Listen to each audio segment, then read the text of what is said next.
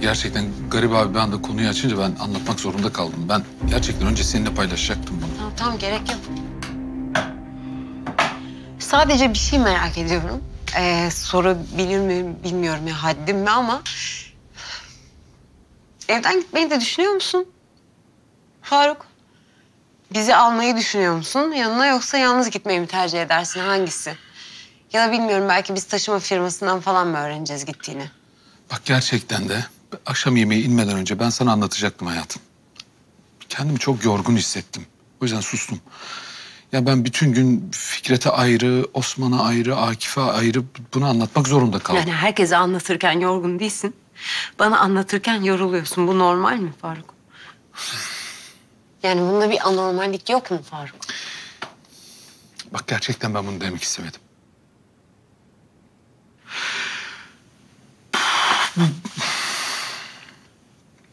Bir anda gelişti. Bak sana benden izin al demiyorum. Aklından geçeni benimle paylaş. Ya konuş benimle. Biz hangi ara böyle olduk ben anlamıyorum. Hangi ara sen beni hayatından böyle çıkarıp attın, ittin anlamıyorum.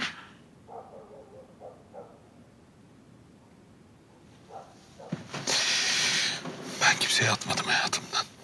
Tamam mı? Bak ne olur beni dinle. Ancak kendimi anlatabilecek kadar anladım. Süreyya ne olur.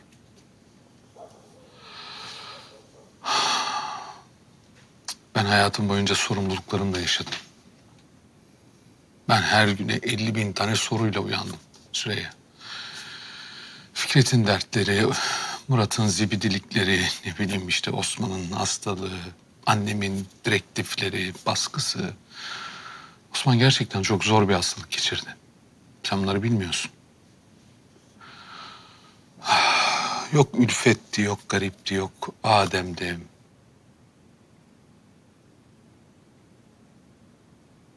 Çok yoruldum.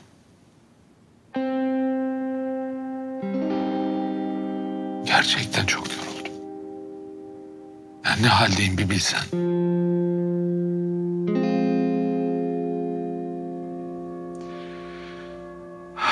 Sanki böyle köpek balıklarıyla dolu bir okyanusun içinde onlarla mücadele ediyormuşum da. Şansıma o deniz beni bir adaya tükürmüş gibi. O kadar yorgunum ki konuşmaya mecalim yok.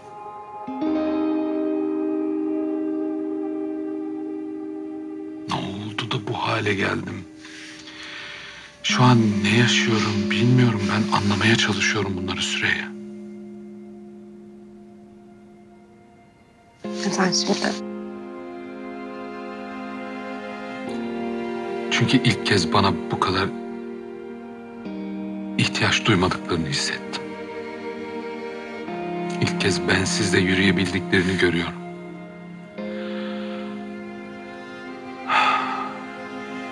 Peki bana ihtiyaçları yoksa ben kimim? Hayatım boyunca kendime soramadığım bu sorunun cevabını bana Emir verdi. Suratıma okkalı bir tokat atarak en esaslı cevabı Emir verdi bana. Baba ben kendi yolumu bulmaya gidiyorum dedi.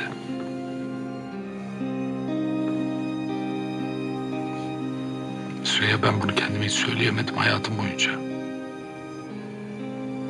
Kimse bana bu konuda izin vermedi. Ben kendim kendime bile izin vermedim. Benim hayatım boyunca aldığım, kendi başıma aldığım tek karar ne biliyor musun? Seninle evlenmek.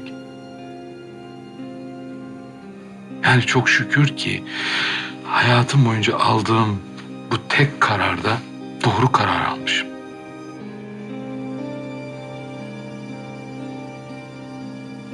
Ben rekorun hiçbir şey kıramaz.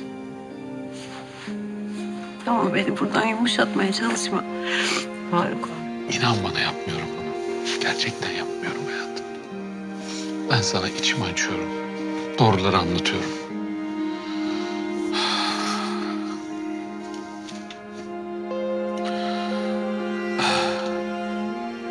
Benim kendime bu evin babası olmadığımı anlatabilmem lazım ki insanlara da anlatabileyim. Yoksa benim ne kardeşlerime, ne sana, ne çocuklarıma hiç kimseye bir faydam olmayacak. Ben çabaladıkça herkes yarım kalıyor sanki Süreyya. Sen ondan mı Okan meselesine bu kadar içerledin? Bu kadar dağıldın? Herkes hata yapar, Faruk yapamaz. Dedikleri için mi? Ben hayatım boyunca babam kadar güçlü biri olmaya çalıştım. Babamın yokluğunu hiç kimseye hissettirmemeye çalıştım. Bu arada ben kendim ne hissediyordum? Hiç sormadım. Kendi yaşımı yaşadım mı?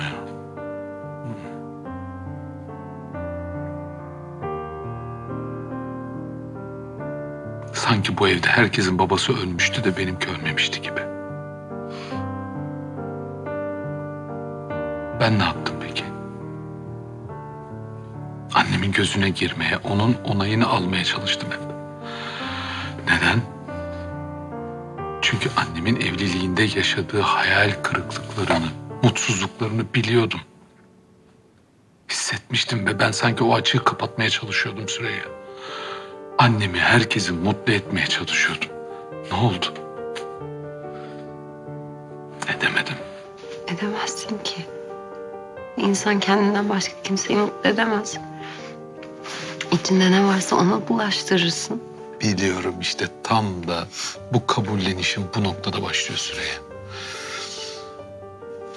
Evet. Yani bu noktaya gelmem kolay olmadı. Nerede aydım? Ne oldu? Ne yaşadım? Nasıl boşluklar oluştu bilmiyorum ama... Bir baktım ki ben filmin dışındayım. Ya tutunmak için çok çabaladım. Gerçekten çok çabaladım. Bir süre sonra vazgeçtim. Bıraktım ellerimi.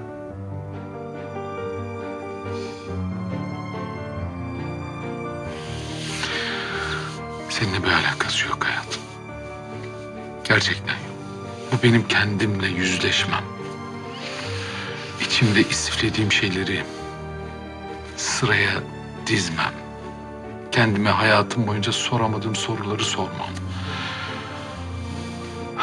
Ne olur anla beni. Anlıyorum. Ama ben senin sıkıntını şirketten zannediyordum. Hiç evde de bu kadar yalnız olabileceğini düşünmemiştim.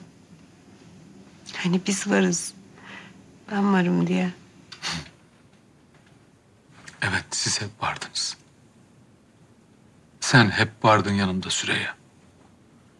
Eğer sen olmasaydın ben bu süreci atlatamayabilirdim. Gerçekten. Hani sen hep diyorsun ya anda kal. Yanımızda ol, bizimle kal. İşte benim bunu başarabilmem için önce Faruk'u bulabilmem lazım. Hayattan tad alabilmem için, hayatımı yaşayabilmem için benim hayatımı ellerimin içine almam lazım. Süreyya ben, ben sen olmasaydın eğer hala babamın hayatını yaşıyor olduğumu göremeyebilirdim. Gerçekten. Gel bana yardım et. Faruk'u birlikte bulalım. Ha?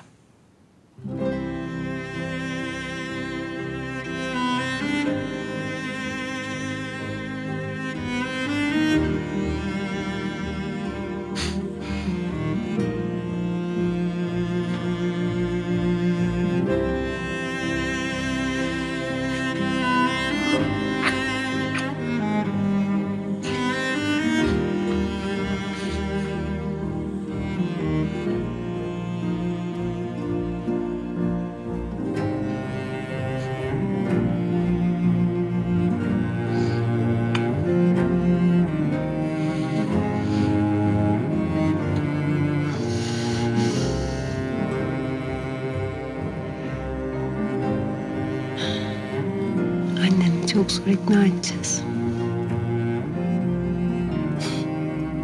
Ama üzmeden başarabileyim de zor olsun.